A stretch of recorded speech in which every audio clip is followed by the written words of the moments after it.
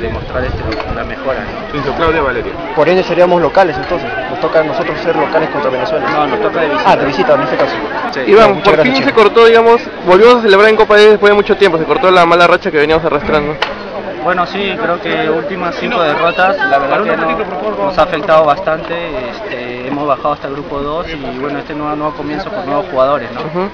Claudia Valeria, Chinito. ¿Cuál fue la clave de día para sacar este partido entre los hermanos Arevalo donde parecía que ninguno se rompía el, eh, se rompía el servicio? Eh, bueno, la clave fue que mantuvimos el nivel hasta el final, ¿no? Yo creo que este, ellos bajaron y nosotros eh, mejoramos.